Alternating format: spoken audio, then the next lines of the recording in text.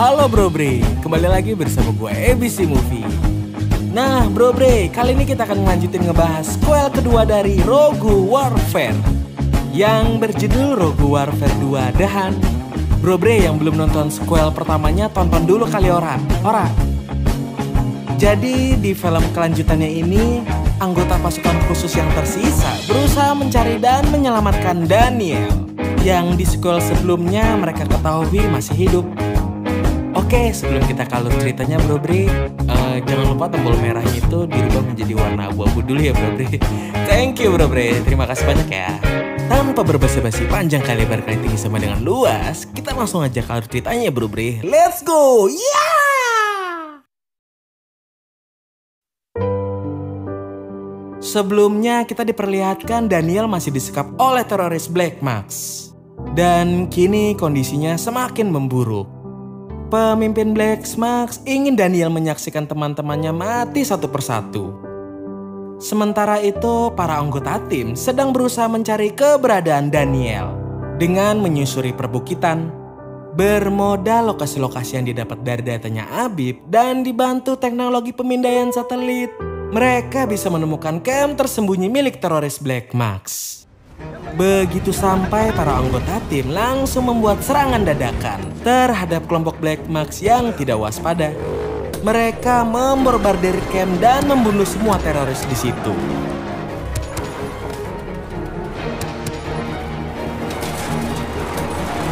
Mereka menyisakan dua warga yang tidak bersenjata. Kemudian dari mereka didapatkan seorang pria yang bisa berbahasa Inggris. Darinya diketahui bahwa pemimpin Black Max telah membawa Daniel pindah ke sebuah desa tua sejauh 25 km ke arah timur. Orang itu juga memohon untuk tidak dibunuh. Dia terpaksa bergabung dengan Black Max karena keluarganya diancam akan dibunuh. Lalu Bang James pun membiarkan orang itu pergi. Ralph yang takut orang itu akan memberitahu pemimpin Black Max menyuruh Galina membunuhnya. Namun Bre Galina juga tak tega membunuh orang tak bersenjata. Singkat cerita, para anggota tim sudah kembali ke markas.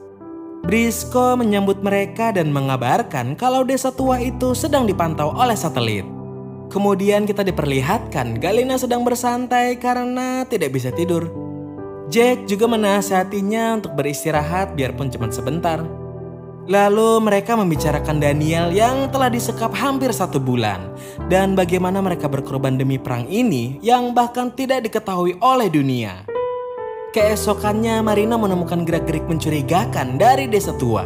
Banyak truk yang keluar masuk dari sana Lalu Briscoe melaporkannya kepada Presiden Amerika Serikat bahwa mereka menemukan lokasi yang kemungkinan menjadi persembunyian Black Max, yaitu di sebelah timur Baghdad.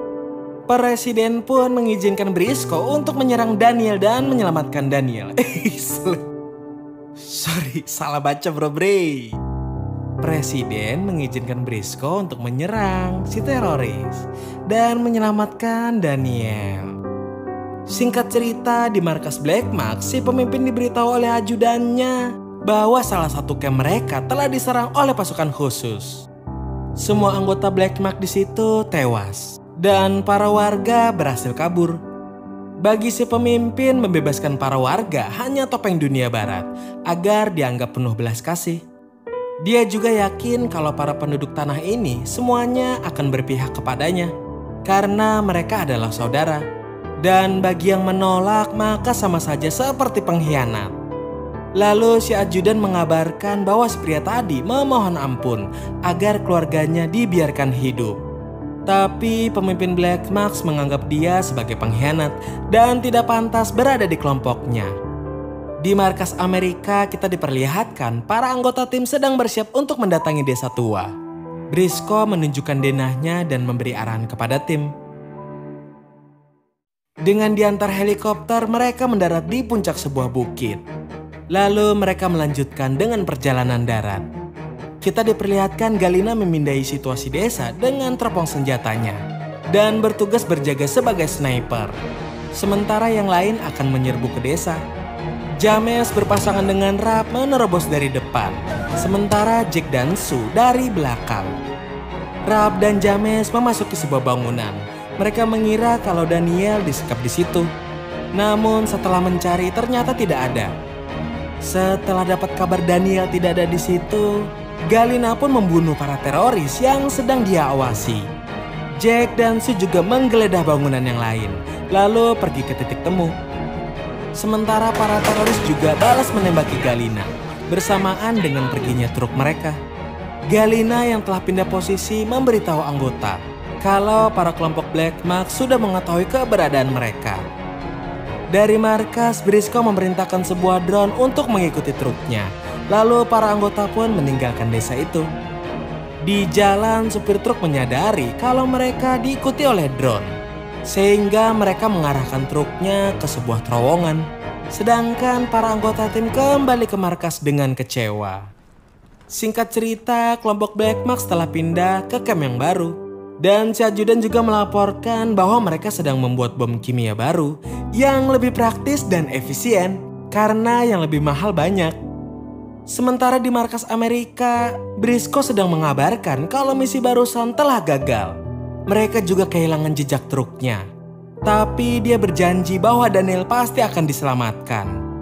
James yang agak emosi karena gagal menemukan Daniel, hampir melampiaskannya kepada Ralph yang sebenarnya kali ini tidak membuat kesalahan sebelum diredakan oleh Su. Lalu Daniel diperlihatkan mulai menunjukkan tanda-tanda seperti orang stres. Dia bermain-main dengan dahan yang dia anggap senjata api. Dia juga ketawa-tawa sendirian di hadapan pemimpin Black Max. Lalu Daniel dikeluarkan dari kurungan dan dibawa ke atas bukit. Oleh si pemimpin, dia ditakut-takuti dengan kematian anggotanya. Lalu disiksa di sebuah pancang di bawah triknya matahari. Setelah beberapa jam, dia dibangunkan dan dibawa kembali ke camp. Di jalan, si pemimpin menyampaikan tujuan operasinya adalah untuk mendapatkan kebebasan tanah airnya, meskipun dengan cara kekerasan. Lalu mereka mendatangi si pria dari camp untuk mempraktekkan maksudnya. Si pemimpin menyuruh pria itu bersuara seperti guguk atas pengkhianatannya.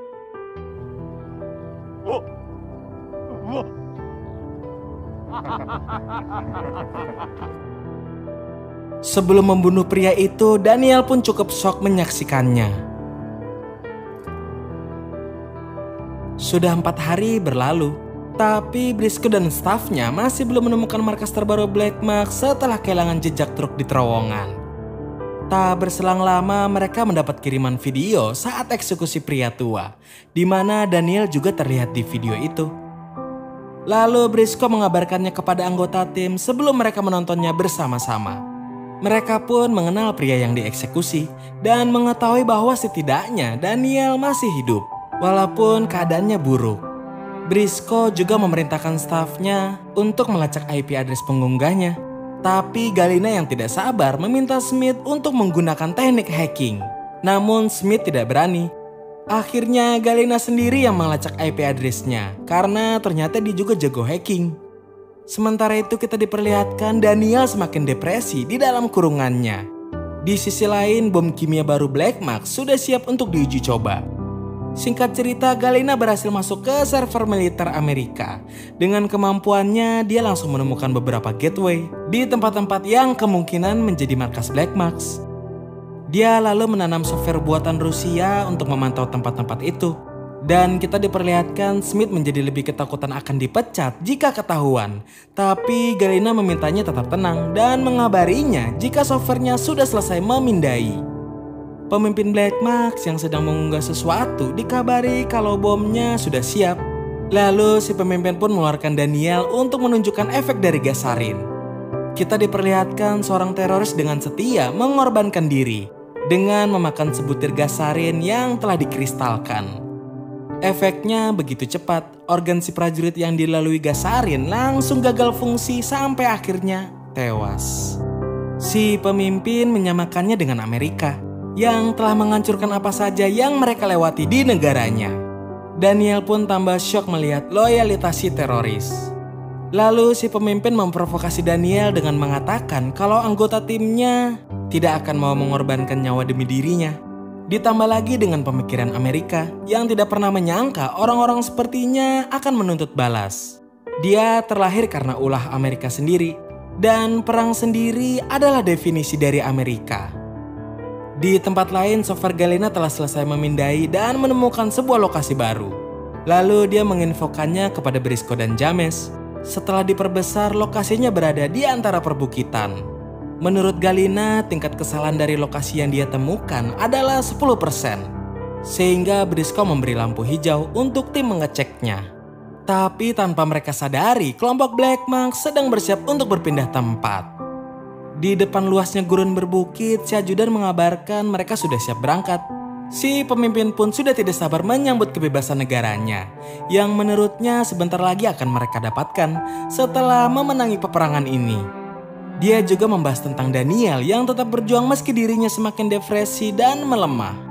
Dia mengakui bahwa Daniel adalah seorang prajurit terhormat yang rela berjuang begitu keras demi negaranya. Setelah itu, si pemimpin mendatangi Daniel. Dia memberikan sebuah pistol kepada Daniel untuk mengujinya. Saat si pemimpin berlalu, Daniel mengalami dilema sebelum memutuskan untuk bunuh diri. Namun saat pelatuk ia tarik, ternyata tidak ada pelurunya. Si pemimpin pun bilang kalau Daniel tidak akan dibiarkan mati semudah itu. Sementara itu, anggota tim telah siap untuk misi penyelamatan Daniel. Mereka pun akan diantar dengan helikopter menuju ke lokasi. Sedangkan si ajudan sudah mengetahui bahwa komputer mereka telah diretas. Dan kemungkinan pasukan khusus sedang menuju ke camp. Si pemimpin pun menyuruh para pasukannya untuk bersiap menyambut mereka. Selain itu, dia juga memerintahkan untuk mengeksekusi Daniel. Karena dia sudah terlalu banyak mengetahui rencana Black Mask. Begitu truknya siap, si pemimpin pun pergi meninggalkan camp. Singkat cerita, para anggota sudah sampai di lokasi. Mereka juga menemukan pintu masuk terowongan bawah tanah. Tapi tanpa mereka ketahui, beberapa teroris sedang bersiap untuk mengeksekusi Daniel. Kita diperlihatkan para anggota menyusuri terowongan itu dan melumpuhkan beberapa teroris sebelum sampai di sisi lain terowongan. Lalu mereka menaiki bukit dan sampai di camp Black Max. Setelah Galina memindai situasi, Ralph, James, dan Jack mengecek ke dalam camp. Sementara Galina dan Sue mengawasi dari atas. Kita diperlihatkan James dan timnya menyandra seorang teroris untuk mencari tahu keberadaan Daniel, tapi teroris itu tidak mengaku. Di situ Jack memeriksa sebuah komputer dan diketahui bahwa mereka sedang mempersiapkan bom sarinnya. Dan karena mereka terlalu banyak membuang waktu di situ, para teroris yang lain pun keburu datang kita diperlihatkan Galina dan Su mulai bergerak karena merasa James terlalu lama. Dan tepat sebelum James dan timnya dieksekusi, Galina dan Su bisa menyelamatkan mereka. Kemudian kelompok besar teroris mulai berdatangan setelah mendengar suara tembakan. Sebelum pergi, Jack tak lupa membawa laptop milik Backmax. Begitu mereka keluar tenda, baku tembak pun tak terelakkan.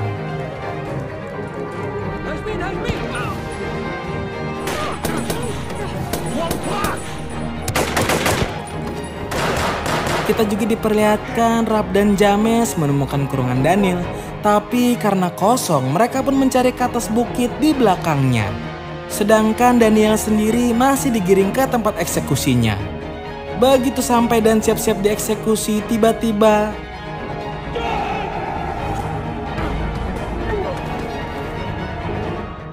Tiba-tiba James dan Rap menolongnya tepat waktu.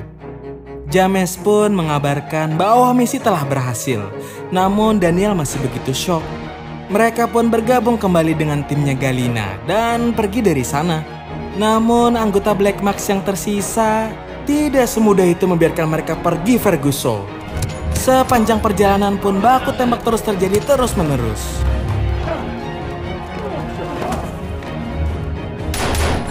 Dan kita diperlihatkan Jack melemparkan granat buatannya ke kerumunan teroris. Belum sempat diledakkan, Daniel teringat kembali hari-hari penyiksaannya ketika melihat kurungan dirinya.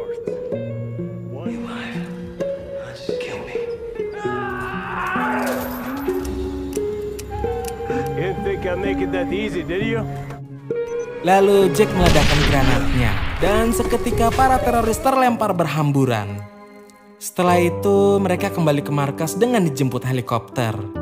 Begitu sampai, Daniel pun langsung dibawa ke tempat perawatan. Daniel harus istirahat total dengan diinfus untuk memulihkan kondisinya. Lalu Brisco mengumpulkan anggota dan menyuruh mereka beristirahat juga. Sedangkan tentang pemimpin Black Max yang berhasil kabur, akan mereka bicarakan nanti. Dan di markas baru Black Max, si pemimpin marah besar mengetahui Daniel diselamatkan hidup-hidup. Make sure we have a fucking surprise ready for them when they come hunting.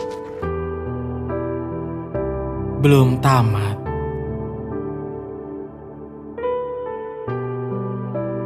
Gimana menurut kalian tentang film ini bro bre? Menegangkan dan melemaskan ora? Bro bre, itu tombol merah udah jadi abu-abu belum? Terima kasih sudah mau menonton video ini bro bre. Sampai ketemu di video selanjutnya ya bro bre.